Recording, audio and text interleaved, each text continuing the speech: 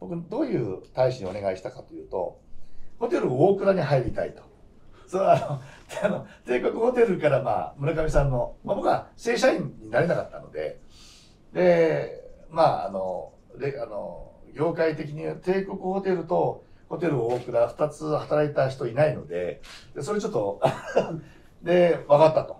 であの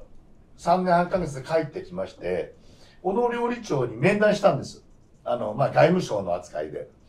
あの、面接していただいて、で、分かったと。で、ずっと、まあ、ジラルデから帰って、あの、ジュネーブから帰ってきたばっかりなんで、で、半年返事なかったんですよ。で、僕もさすが、これはやっぱりね、大倉としても、変に断れないだろうしって、それで僕は諦めて、またジラルデに帰ったんです。で、本来であれば、あの、そのまんまホテル大倉に、あの、就職するはずだったんですけども、ただ、まあそういうことで、あの、まあその当時、あの、もう当時は、村上料理長、の料理長、古谷料理長っていうのはもう絶大な、でまあ御三家ができて、で、まあその後、時代が変わって、えー、石鍋、蒲田、井上っていう、その、まあ町場の、まあその3社が、まあちょうど僕帰ってきた時も全盛期で3人の。で、しばらくその、まあ、町場、町場っていうか、やっぱフランス、神様なんかの影響もあるでしょうけど、町場がある程度そういう、まあ、スターシェフを作って、で、まあ、この、まあ、僕もここ37年で締めるんですけども、で、そのさ、あの、サンバ、サンバガラスも、あの、井上さんは亡くなり、まあ、石鍋さんは引退し、まあ、亀さんもホテルですけど、まあ、ほぼ、あの、まあ、顧問になられて、で、まあ、僕の特集で、まあ、37年間ここ町場で僕がオープンした時に、まあ、グランメゾンって言ってあのトゥーダルジャンアピシュースそしてあのホテル三国と。で17 37年間ですか。でまあうちもその37年でそのまあ締めるというかまあ僕自身もまあそのパートナーというかオーナー持たずにあの37年間あの一人であのこの、まあ、グラメゾンというか、まあ、そういう規模のやらせていただいて、まあ、神さんとも話すんですけど今あの、まあ、時代が時代がその変わりましてね皆さんあのもう神さんもしょっちゅう神さんのたすき通りっていうのを作って結局今の若手ってあのほとんど、まあ、30席だとか20席だとか、まあ、それは結局この時代の中でもうその僕もそうですけど今度はあの来年さらにここを更地にしまして、えー、8席の店にするんです。8席のお店をまあ、自分一人で、まあ、あの若い小僧一人か二人使うと思うんですが8席のお店で、まあ、僕自身がその8人のお客さんを相手にその料理をその、まあ、こう作っていくと、まあ、そういうもう結局この時代にそのまあ、僕が85年にオープンしてあの1億総グルメっていうのがあってそれバブルが崩壊してで3.11があってリーマンショックがあってでこのコロナ。で結局町場は町場のその古いお店はもうどんどんどんどん閉めて、まあ、今後このコロナが、まあ、まだ収まらないですけどまあ町場ではもうそのグランメゾンっていうかそういう大きな規模の集客もできないしそういうまあそれはあの日本だけじゃなくてヨーロッパもそういうあの経済状況でで僕はその皆さんこのさあの杉本シェフはもうフランスで三つ星でシェフをなさってで中島シェフはパティシエで初めてあの常務これなられてであの一番その憧れの池田総領事長はその小野料理長のエスプリをその受けてまさしく僕はまあそういう中でグラメゾンあのレッセゾンは何席ぐらいあるんです？か、えー、60席ぐらい。69ですねでそのグラメゾンっていうのはもうこれからそのホテルでなければ我々町場っていうのはもうそんな50も60も集客これからコロナが収まったっていろんな問題が出てくるので。でまあまあ僕はその中島さんともあのまあ、一緒にニュータニーに招待されてやったりだとか特にやっぱり杉本シェフはもうアラン・デュカスとあのモリモリスだっけ？モリスですね、はい、モモリスで、はい、モリモリスだっけ、はい、のそのシェフで絶大な、まあ、あの、あの、なんていうんですか、シェフあの、あヤニカレーのですね。あヤニク。ヤニクですね、はい。ヤヤニクにあのあの認められて、で、池田シェフはもう、その、小野料理長のエスプリで、まあ、当然、神神さんと、まあ、我々は、まあ、今、神さんの町場ですけど、まあ、確実にあなた方が、この、あの、我々が、その、こう、憧れた小野料理長であり、村上料理長で、古谷シェフの代わり、その、やっぱり、その間、まあ、ホテルっていうのはそんなに、まあ、注目されてなかったっていうことじゃないんですけど、まあ、そういう町場のスターシェフができてで確実にあなた方がこれからその、まあ、これホテルスなのでホテルの方皆さん見ますんで、まあ、未だに御三家ということであのあなた方3人がからこれから、まあ、そのホテルを引っ張ってで確実にその再びそのホテルの時代が確実にそのやってくるということを僕はもう実感してそういうつもりでここのお店もううち今こう80過ぎぐらいあるんですね。で大体60ぐらいで満席になるんですけどでもうもうその個人で将来そういう町場町場でもそのあの不可能ですしで我々のその後輩があのケイちゃんがミッシュランの三つ星取って、えーあのパッサージ三冠とあの佐藤君が2つ星を取って手島君っていうのは1つ星を取ってもうパリでそういうオーナーでその三つ星を取る時代になって確実に、えーそのなす時代の変化ということで、えーそういう趣旨で、まあ、あの今回ぜひあのホテルスの編集長に頼んでページを割いてくれと。でそういうう僕はそういうその、うの評価をしておりますのでまあ一人ちょっと10分弱ずつその趣旨に乗っかってあのなんていうんですか、まあ、アピールというかちょっとあの週あと1時間しかないので。あ僕からですか？うん、あの、なので、そういう趣旨に乗っかって、趣旨がちょっと難しくいてやいやいやいやいや、ただ僕思うにお願いいたします。もちろんその当時の元を作ったのはうちの小野ムッシュであり村上ムッシュであり古谷ムッシュだと思うんですよ。幹を。それを町場ったら表現悪いんですけええど、町場です。先ほど出た石鍋さんとか、うん。まあ井上さんに？ね。三國さんもそうですね。上柿本さんもそうですけどその人たちがその幹に枝をつけたと僕は思ったんですよ。そんで大きな林を作ったって僕は自分個人でそういうふうに思ってるんですよね。だから今あの三國さんの話聞くとまたこう巡り巡って戻ってきたような気がするんですよね。ある程度幹があって皆様が大きく育てて林を作ったただそれ以上さらに大きくなるにはまたもう一段階上を行かなきゃいけないと思うんですよ。それがやっぱりできるのがどうしてもこのコロナの状況下とか考えるとホテルじゃないかと思うんですよ。だから今日さっきお話聞いてなかなかためになる話だな。正直言って。じゃあ、まあ。僕は、その、皆さんのその、小野さん、村上さん、古谷さんに代わる人材が今までいなかったっていうと失礼ですけど、その後にね。で、ようやく、で、それが時代に噛み合ったってると思うんですよ、今。いやでも我々あの3人にはどう頑張っても無理ですよ。それやっぱ時代が違うっていうのがありましたありますけどあの3人には近づきたいっていうのはもう常日頃から言ってますよ。でも横に並ぶ一歩後ろを行くことすらすごい至難の技だと思いますそれはもちろんその今の状況とその当時の状況現場の状況全部違うとは思いますけどやっぱりあの3人っていうのは別格ですね僕に言わせれば。まあ我々にとってももう、そうなんです。憧れのスターでしたから。僕ら飯鍋さんに花会うとき、こんな花束毎回持ってましたよ。僕大倉入って小野節に名前なんか一回も呼ばれたことないですからね。用がある時は「おい」ですから「おい掃除しとけ」ってそんなもんですよ。そのぐらいやっぱり僕は僕の中ではもう別次元の方だと思ってるんでそれはもう村上さんもそうだし古谷さんもそうだと思うんですよまあ、ただそれであの、まあ、これからね、時代が変わって、これからそのホテルの時代がやってくると、そういう中で、うん。ホテル大倉としてね、ちょっとその、ビジョンというか、こう、あの、あ、乗っていきたいっていうのをちょっと。い。や僕はもう根本的に総料理長になった時に小野ムッシュの料理は絶対忘れたら僕はいけないと思ってて。うん。ただそれを丸々やるんじゃなくてその幹ですか？小野虫が作ったホテルオクラの幹ってありますよね。それをベースにして枝をたくさん作ろうと思ったんです。ですから根本的なそのベースみたいなものは絶対崩さないんですよ。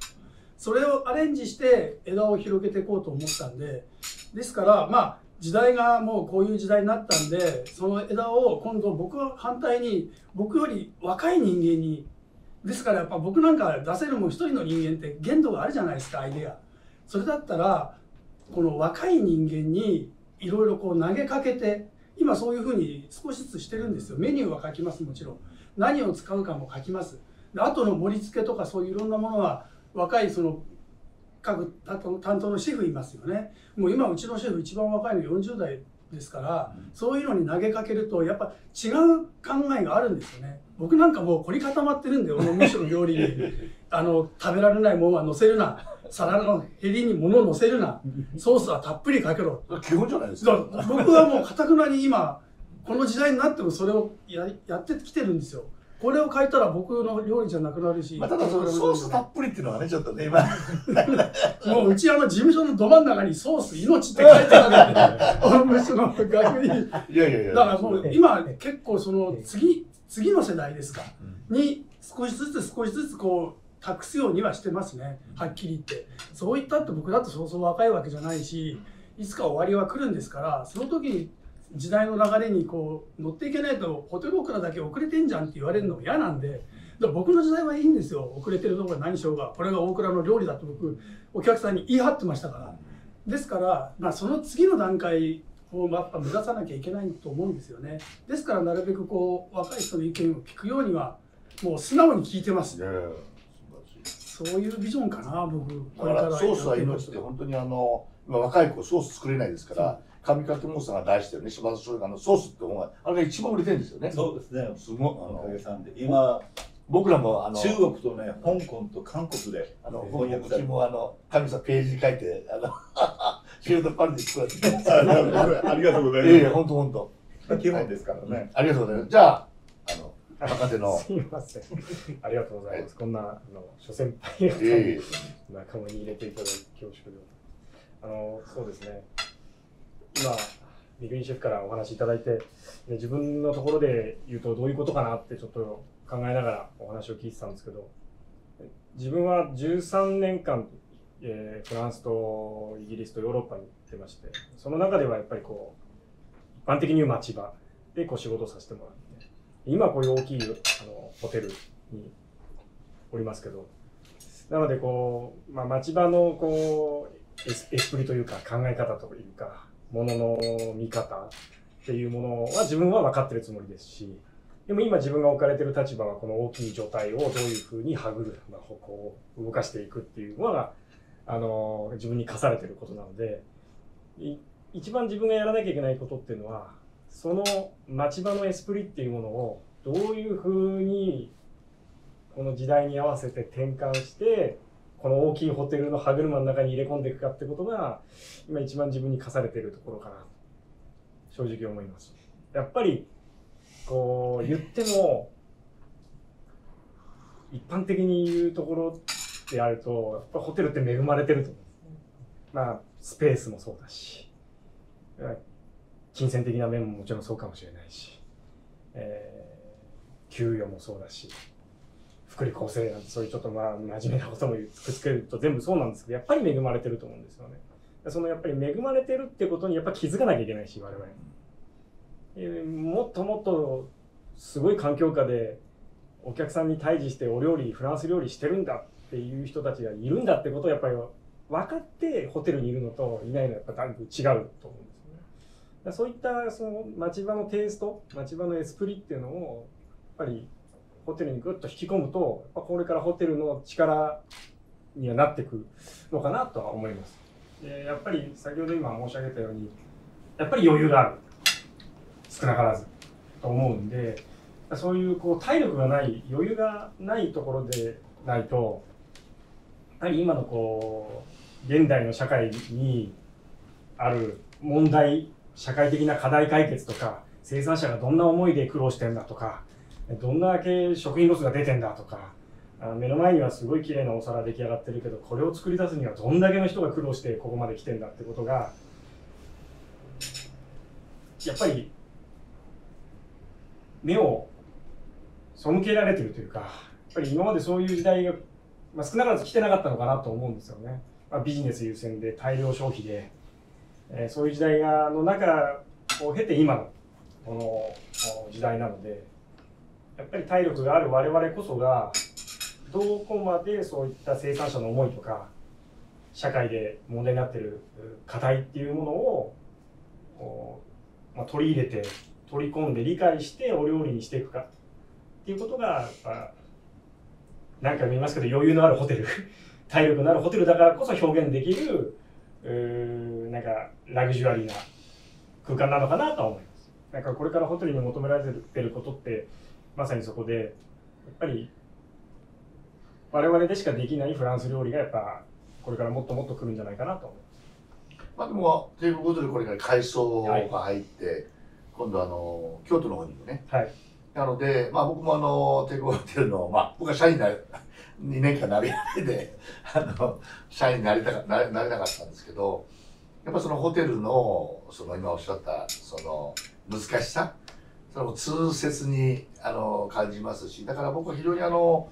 あの、杉本シェフにはその期待して、やっぱりさ先ほど言ったその町場、フランス料理っていうとやっぱりミシュランの三つ星で、はい。町場で、で、それがやはり、あの、ベースじゃないですか。はいそれを、確かに杉本さんが今、大変なのよくわかりますよ。その何百人もいてね。そんな、外も経験のない、帝国ホテルしか知らない人方に、でも、すごく期待してるし、で、この階層と、それが一つの、やっぱり杉本さんのその理解者が、どれだけそのホテルの中にこう生まれて育って、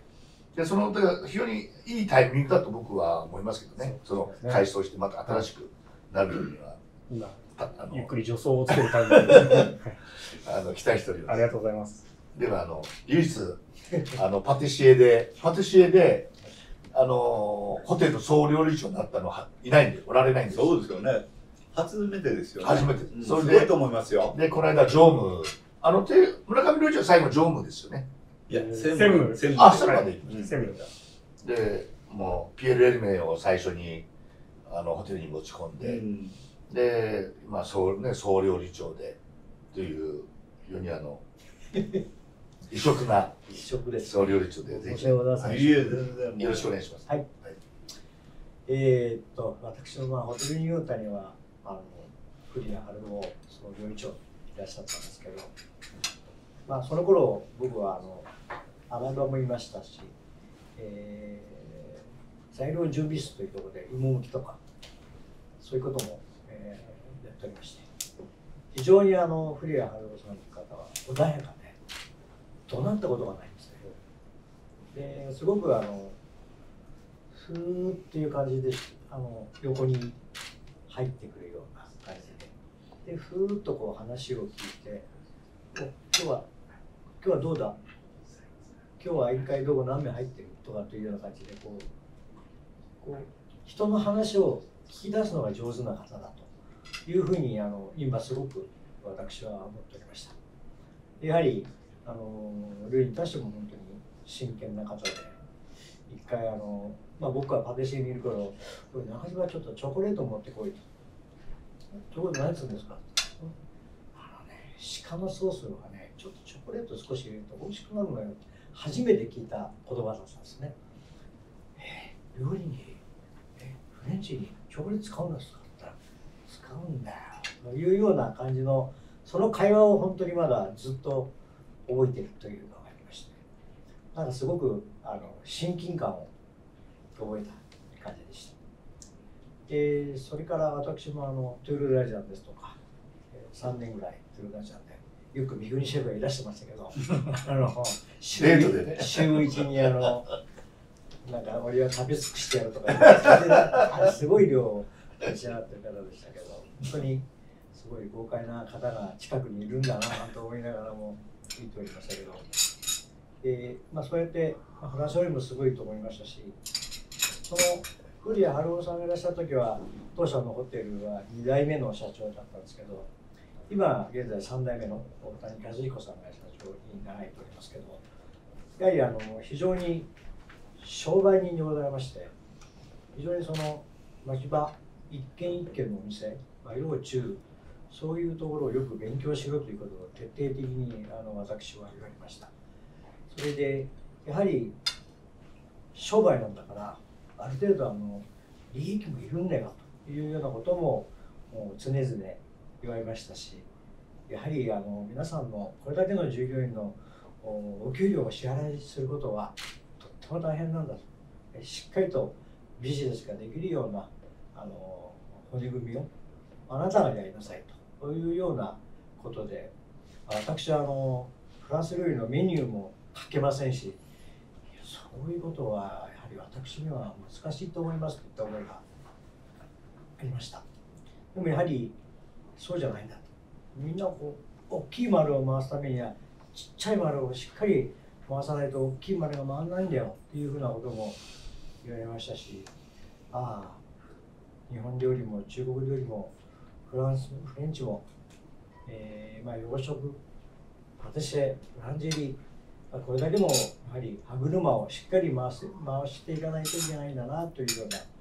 思いで今あの仕事を取り組んでおります。やはりあのいろいろ異色な総料理長なんであんまりこう他のホテルの方とこう交流する機会もないんですけどもなかなかこう友人も増えずに、まあ、パティシエの友人とずっとこう過ごしてる日々なんですけども、まあ、このところあのリッピニーシェフにいろいろとあのホテルのイベントをお願いしてでいろんなお話を聞かせていただいてやはりあの一つの道をまっすぐですね、えー正直に、えー本当にやっていくことって大変だななんて思いながら日々過ごしております。しかしながらやはりすごく養殖をやってるコックさんがやはり200名近くいます。そうするとやっぱりあのいろいろとフランスの今のフランスはどんなことやってるんだろうがどんな料理を作ってるんだろうかというようなやはりあの思いを思ってる子が多いので、えーまあ、当社の社長にあの日本で日本人でフランスで頑張ってる料理人を日本谷が招聘してそういう方のフェアをやりやっていいですかというようなお願いをしました。そのメリットは何があると。あの言葉の壁が本当に私もあの会社のおやはり出張でフランス行かせていただいたんですけどやはり言葉の壁、えー本当に分かってるんだけど分かってないなって言われるようなというようなところがたくさんあったのででやはり日本人のシェフがニューヨータニに来ていただいて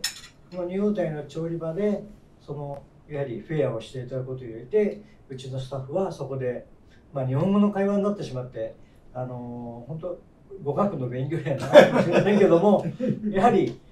あのテクニックとかやはりその持っている気持ちいやこれは全部ねナイフでやんなきゃダメなの手手使わないでよとかやっぱりそういうような本当のおフランスのシェフから教えていただいたそのエスプリを今のスタッフにどんどんこう勉強できることはいいことだなと思ってましてちょうど今はあのパッサージュの佐藤さんうん。見ておりまして。あ、そうですか。来週大阪でフェアなんですけど肉食よろしくおっしゃって。挨拶に怖いのか今 そのそな。怖いのなのね。その後に。北海道。北海道。札幌なんだ。ああそうなんです。どう？いや、彼は北海道から僕を追っかけてグラウンドに入って東京に来て、で、パリでね頑張ってるよな。どちょうど入り違いなんですよねはい。ありがたと。で僕はねやはりあの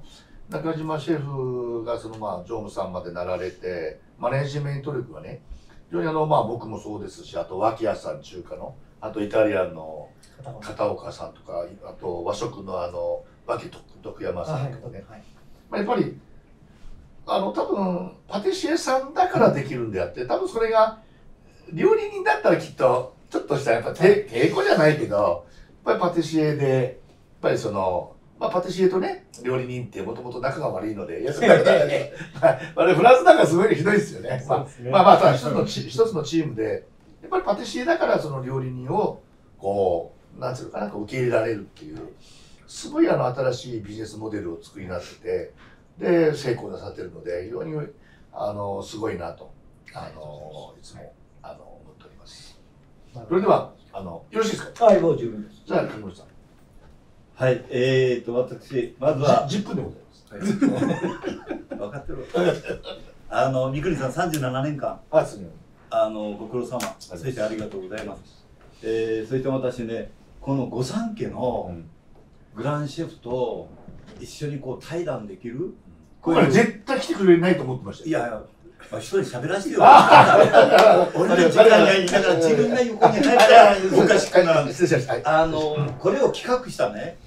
あの、三國さんと、ホテレスってね、すごいと思いますよ。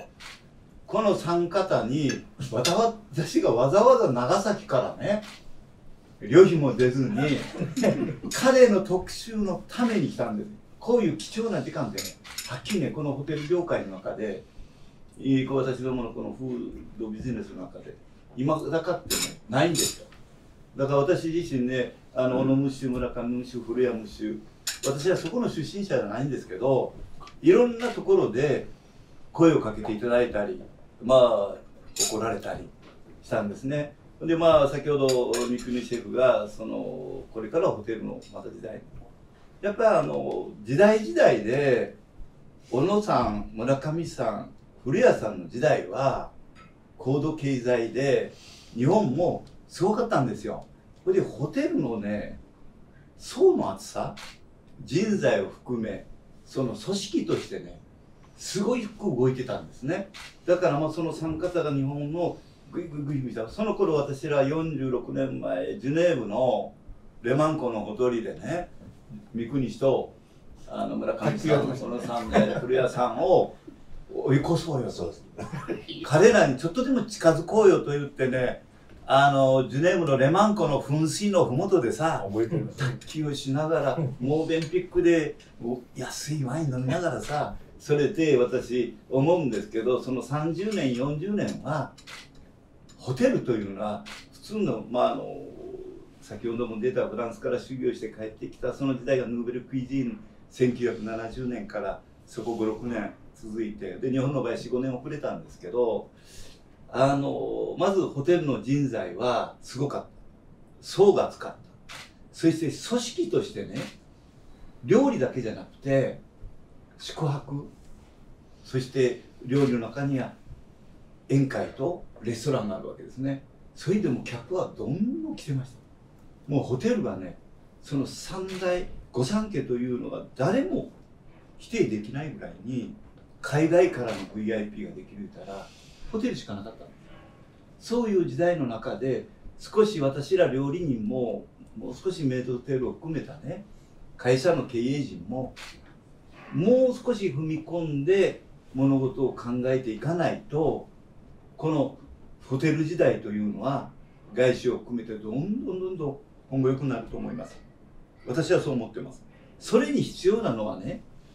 先ほど出てました若手にメニューを書かす、食材はきちんとで、オノムシュの基本はきちんと守りますよと。そしてフランスで修行された十何年間のレストラン。レストランというのとホテルは、レストランとバンケットと大体2本立てが多いんですね、冬もんは。そしたら、今まで私らはレストランでシェフがね、どこから帰ってきた、すごいね、すごいねって言って、行こうって顧客を掴んでた。もうその時代じゃないんですよ。そしてバンケットも、今まではね、もう予約いっぱいで、どこもない。もういろんなこと、今度は、えー正社員よりも外注の宴会のそのスペシャリストに依頼するような時代がずっと続いたと思うんですよ。それで、あの、今後私ね、大事なのは、やっぱり料理人というのは職人ですか、私もそうです。私はアラン・シャペンのオープン三つ星を31歳で10年間シェフをしました。すごいプレッシャーですよ。三つ星を。その後ハウスでもそういう経営理念のエコロジーとエコノミーのあの経営方針には、えー心打たれてあの十何年間して最後のホテルヨーロッパの総支配人もしましただから料理を作りながら料理人というのは職人だけじゃなくて会社全体のバランスで会社のトップが決めてどの方向性ですよねそれを推進するにはやっぱり人なんですよ。人とその中に時代に合ったもの料理を含めてサービス方法もそうなんですよ。今デックパージをするお店がない。やっぱりデックパージも今後ホテルの中で入れていくべき。ホテルじゃなくてもですね。で宴会料理あるいはブッフェ料理も今までの固定観念をねまあまあやられてると思うんですよ御三家は。常に私はその三大グランシェフのエスプリは守りながら現状を把握して次に革新やと思うんですよ。変えていかなきゃいけない。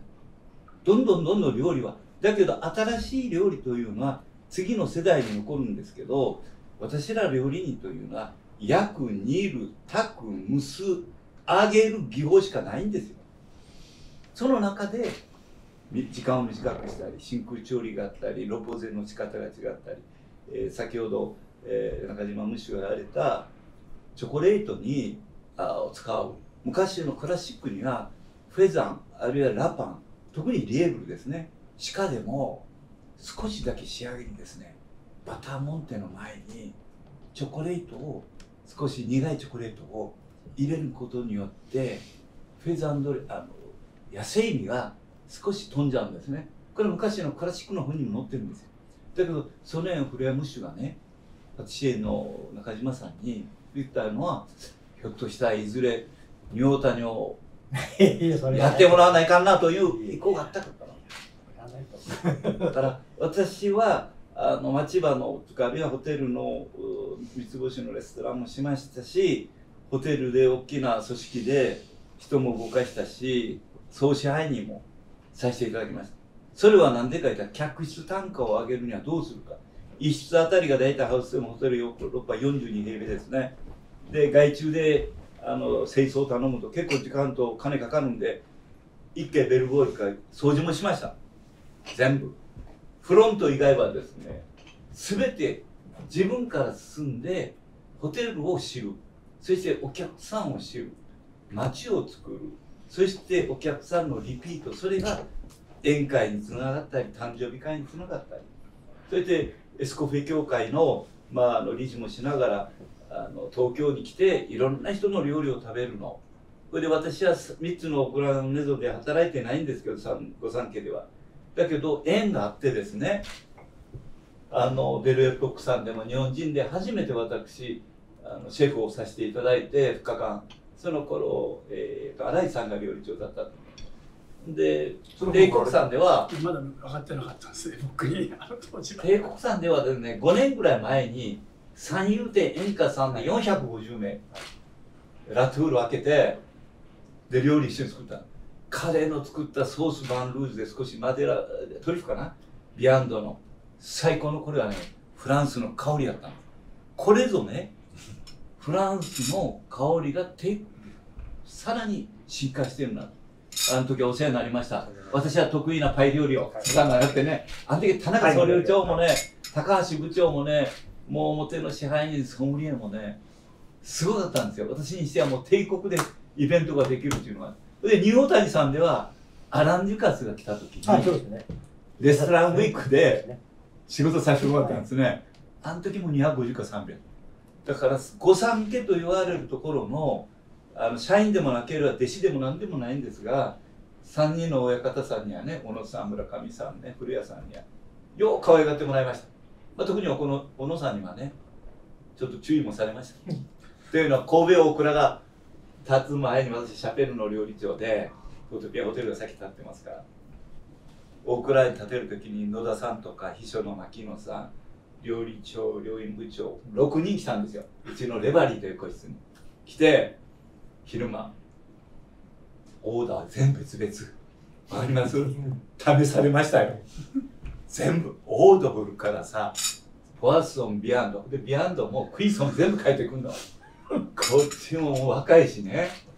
ホテルオクラに負けるもんかって言ったら野田さんが会長が帰る時美味しかった。よかったよ頑張れよ。でまあ私もこういう若かったしね。多分オクラの中に負けるもんか俺の料理がって言ったのがどうも小野さんの耳に入って あいつは生意気なやつだ言って。でその時にあの森さんが創立で栗原さんという方がシェフでちょっと栗原さんにお願いして小野さんのとこ行ったことありますね。何かありましたか？あの小野さんって非常に特殊な人で、まあ、古谷さんねあのシェフが中島シェフがそうあの温厚な方で村上料理長も人を怒るっていうことはまずなかった人で。ただまあ亀さんですね。僕3回呼び出し食ってるんですよ。大倉に。だってまだ終わってないんやけど、なんかね、まだあんたね、あ俺7分さ、まだちょっと喋らせて、いや、ちょっと、と今、小野さんに怒られたのは、あなたも俺も怒られたんだよな。だけど私はね、この3方に、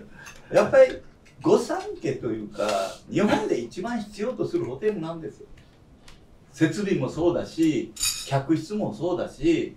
その料理もそうなんです。それで大事なのは今後ね、人を育てることと、先ほど私が言いました、古典を大事にし、なおかつ現状を見極め、次の革新。革新とは新しい料理であったり、その革新の中には、先ほどから出てるね、自然環境へのあの食料品ロスとか、環境のことも考えなきゃいけない、私ら料理人は。料理人だけじゃなくて、ホテルというのは、まあ小さなレストラン、大きなあれでも共通すると思うんですけど、まずシェフはオーケストラの指揮者なんですよ。これ舞台の上で。これで表で働いてるサービスソムリエは、そこで働いてる演技者であり、俳優なんですよ。俳優はいろんな角度から見られてるんです。サービスにしろ、言葉遣いにしろ、お客さんへの対応にしろ、いろんな処理にしろね、コンパニオンをお迎えにしろ、お店から出ていくタクシーに乗るまでが私らの仕事なんですね。これはサービスなんです。そういうことを踏まえて私が期待しているのは、ぜひですね、こういう時代が来るとじゃなくて、今の3方が人を育てる。そして会社、組織を根化し、ある程度の上に立つものは、みんな経営者ですから、経営というのは常に時代とともに変わっていきます。お客さんの思考も変わります。それをやっていくのが私らの仕事であり、私はあの御三家の三方にですね、ぜひ大いに期待しているとともに、あの頑張っていただきたいと私は思います。だから私ら料理だけに特化じゃなくて、地球全体のことを考えながら、お客さんに満足する。で料理人は全て皿からここも素晴らしい花からテーブルクロスアンビランストータルですよねそれはもう日本柱の中の一つであとはバンケットということで何の仕事も私は人とお客様への信頼心そしてたすき道路はやっぱり世界フランスと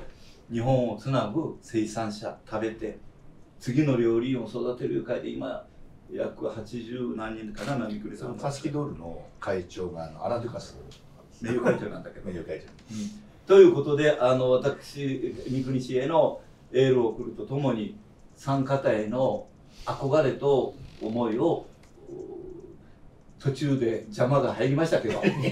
これはもう分かってるんですね。彼が何か挟んでくるのは。だけどこういう機会を設けてくれた三国さんとあのホテレスの方にねもうありがとう以外にないですよ。ないんだからこういうの3人4人5人が揃ってね日本の食についてホテルについてフードビジネスについて人について街づくりについてちょっと喋りすぎたかな？ごめんな。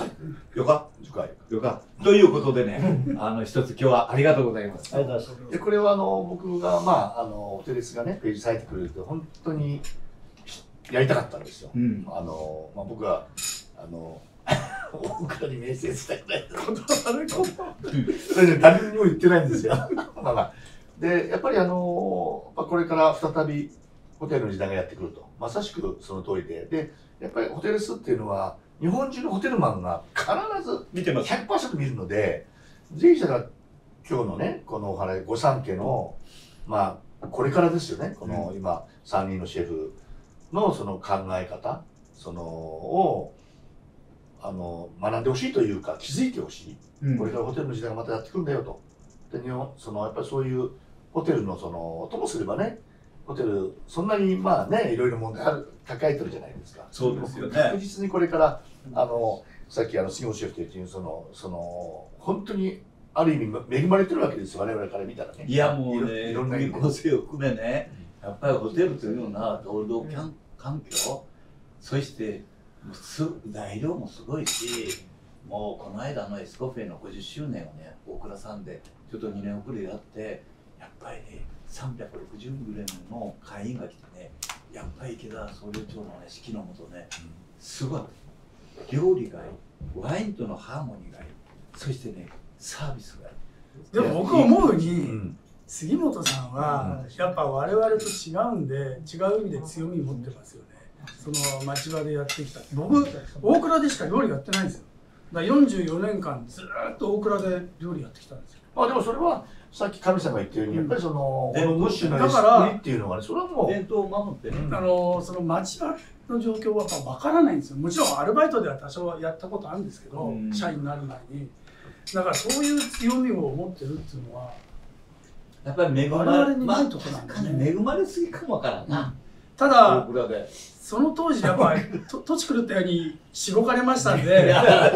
やっぱりその数が多ければ多いだけ上がいっぱいいるわけなんでですよね。もう休みなんか電話かかって出てこいっていう 時代だったんで僕なん、かそれだけね、受注が、お客さんのオーダーが多かったんですよ。うんもうとにかくね、もうホテルの宴会は、婚礼やる、番慶やる、それが日本だけじゃなくて、外国大使館が使う。もうすべてホテル御三家行った。で、VIP が来たら、迎賓館にね、料料理は困んないか、もう要するに人の入って、もうそれはね、言い方悪いけど、すごい人が起こったんですよ。そして、支店ができます。どこどこ支店。そしたらみんな出ていく持っていく。そうそうそうで人材の層が厚いと思ってたのにある程度会社の経営状況でけ進出するよそにそれでまた頭決めたら何かみんな連れていくわけですよで薄くなっていく層がね。それありますよね。でもシェフね。今そこです。今そこ。池田シェフね。まあね僕神さん僕二十歳の時から出会ってでこんなにねもうびっくりしてですもう長いもう40年。46年。こんなね環境はそんな立派な人じゃなかったの。でね。じゃあお互いにそうじゃん。あんたも田舎の北海道の町から来とってさそれを上に言うなよ。僕驚いたのはパリに行って、まあ、金もなくて何にも仕事がないんだって。最初ね。まだあのデュックに行く前。そしたら朝朝一番で毎日仕事もないのに出ていくんだって。で仕事もないのに朝一番。そしたらパリってあの裏狭いんですよ。うん。黙ってレストラン裏に洗い場があるからそうだ行って黙って洗うんだって。本当にで洗ってまかない食べてバカれた。ほいでアラブ人、お前の無謀新しいとか言って、の、言って、ほんで、め昼ごお腹空いてるしね、食べるもんないから。ほいで、まあ大体アラブってアラブ人、チュニジア人、モロッコ、アルジェリアが多かった。でそのうちそのデュックに出会うんですよね。そうそう、であそこで。そのデュックがパリにその支店を出せて料理長でちょうど僕がジュネーブに行った時にあの彼が来るわけですよ料理長で。でそこにあの秀美杉野はいはい彼もいたんです。働いて。でもう毎晩ねこんな話をしてて。だから僕まあまああのまあ僕はもう40年付き合いだから環境の問題とかね経営の問題するとさ僕は本当にねお同じいや、それはね、みくりさんね、はい。俺はやっぱり勉強しましたよ。あの、ポートピアで、アラン・シャピさんの料理を味付け見せて、どんどんどんどん味付けしよう、彼はなんか言われて、で、その時はあの中内さん、勉さんという方が社長で、私に料理だけじゃなくて、上君ね、これからね、経営も勉強しろと。で、その時、その数字の勉強と人づくり、それで、まあ、ハウステムさんは地域、あの、地球環境を守ろう言ってた時に、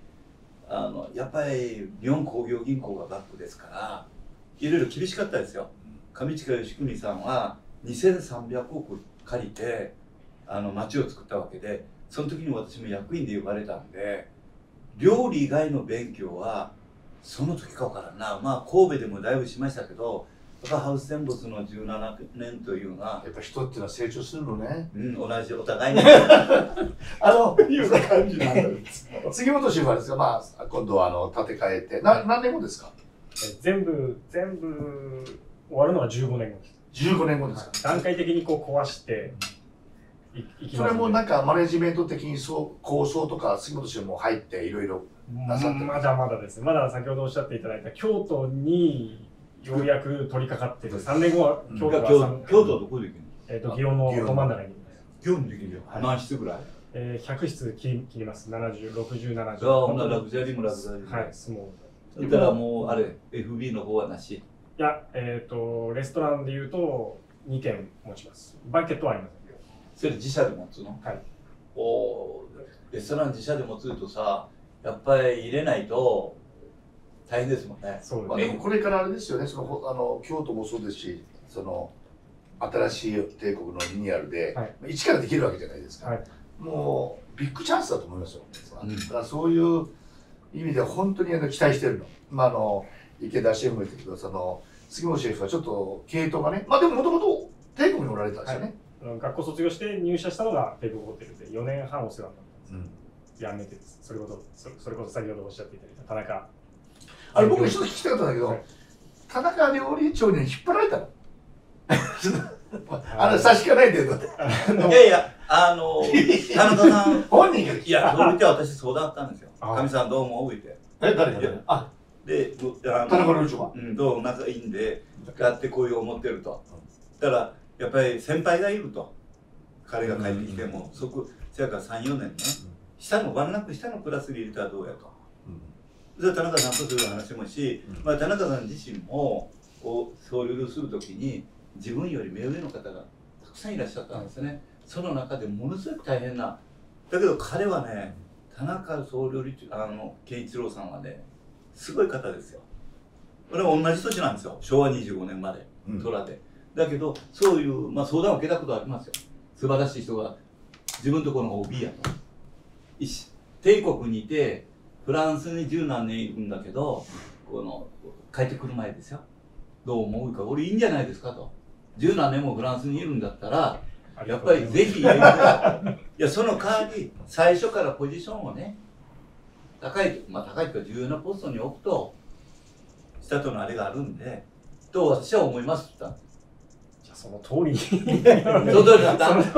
ランクかツーランク下で実力があればね、本人は上がっていくんですよ。宴会シェフにその時、でしょババンケットシェフにしていただいて。うん。だからやっぱりその辺、田中圭一郎さんってね、すごい人ですよ。次の世代を見据えてたの。ね。私はね、やっぱり同学年で尊敬する料理人としても人としても。村上料理長もそうですからね。そうです変わってきたのは田中そうで先輩いっぱいいるのに、そポンと上げて、うんまあ、そういうのを、彼自身が体験してるんで、そうそううん。で、あの、レセゾン、レセゾンにね、フランス人のシェフがいるんですよ。あ、ジェリー・ボアザン。うん僕友達でね。彼18年日本にいるみたいですよ。うん、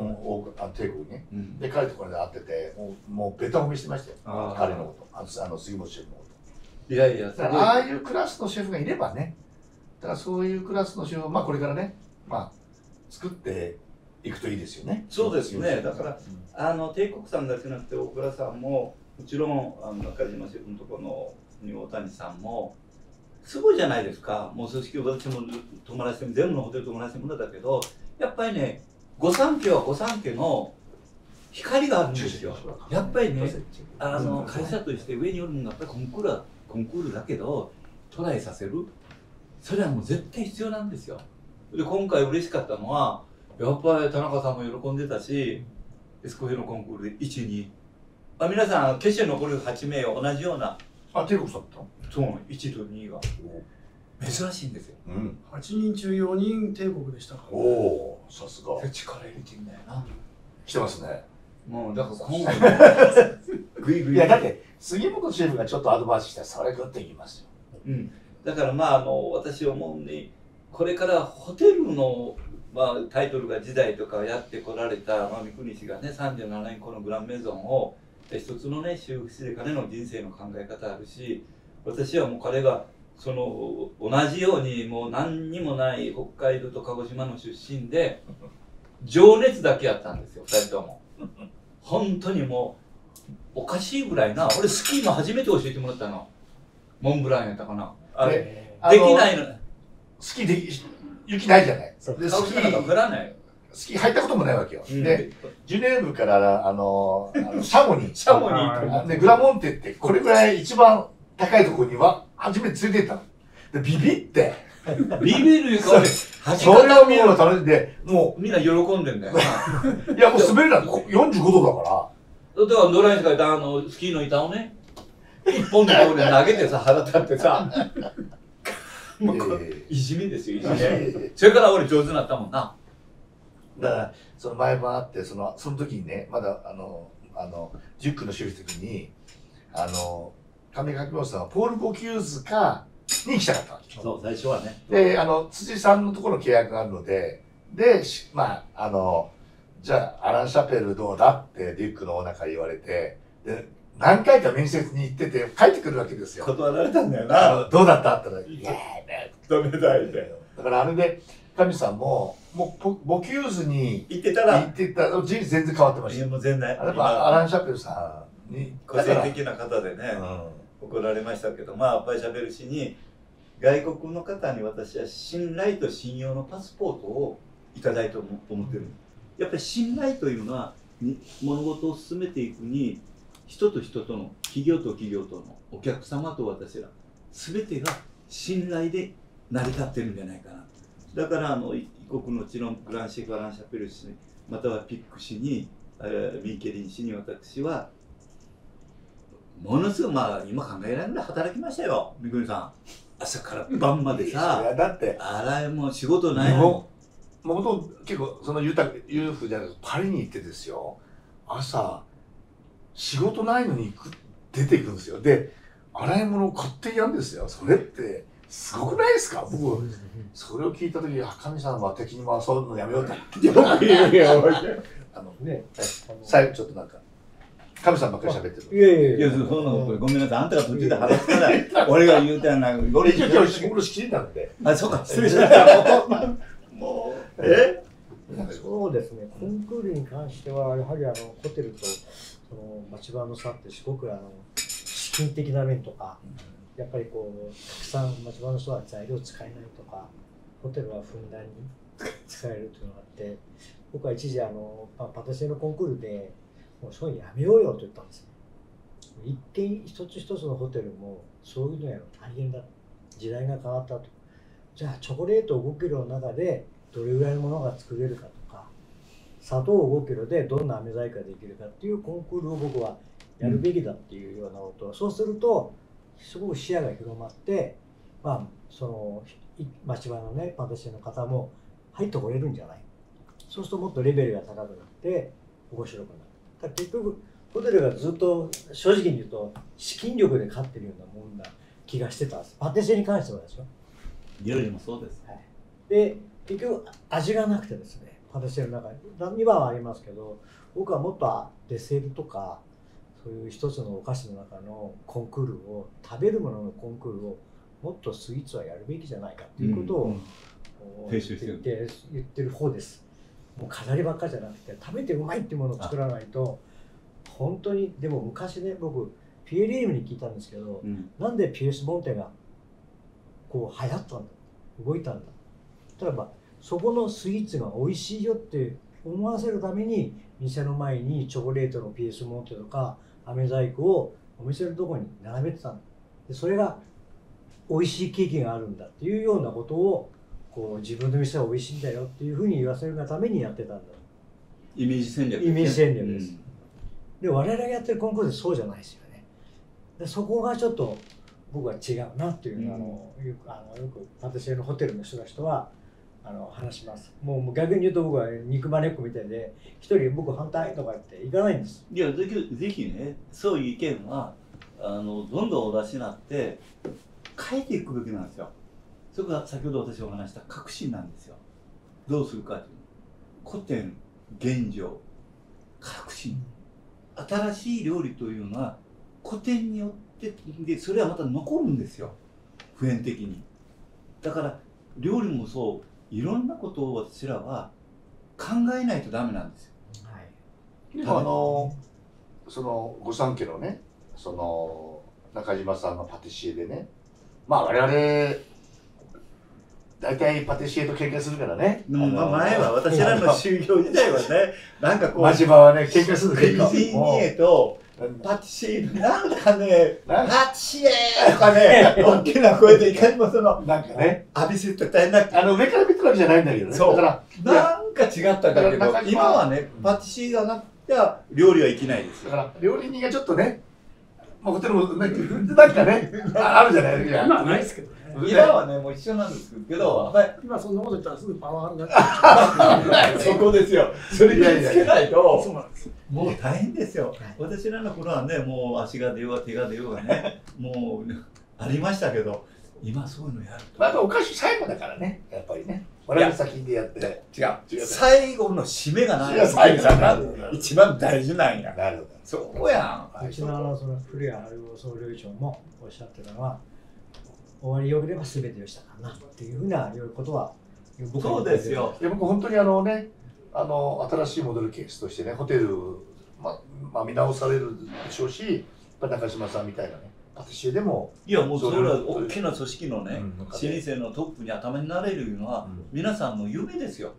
夢ということで、かみさん、もうちょうど、あちょうど4時なんで、えマイクの言ってまた。あのもありがとうござういよかさかみさんの話長いので、何言ってるあんたが一番長かった。さこれびっくりありがとうございました。さあ、かみさん行きましょう。はいわかった